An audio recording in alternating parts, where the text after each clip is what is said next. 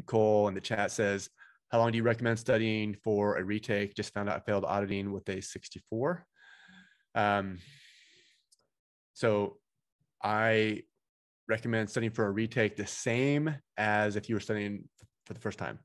And the reason for that is people oftentimes go in and they'll fail and then they'll think, okay, I'm just a cram away, I'm just a few points away. And then what will happen is oftentimes they will score, score lower than they did before. And then they think they're stupid and and, and everything's um, uh, terrible and the CPA exam isn't for them. And that's just not the case. So for auditing, I would I would study for five weeks.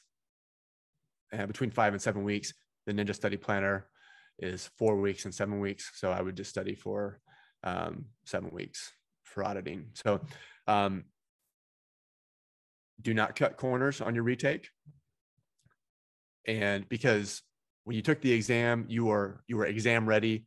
Like so for those topics that you scored well in, you were exam ready on that day. You're not exam ready now. You need to go back and restudy those sections and then um, the areas that you are weak in, you need to strengthen those.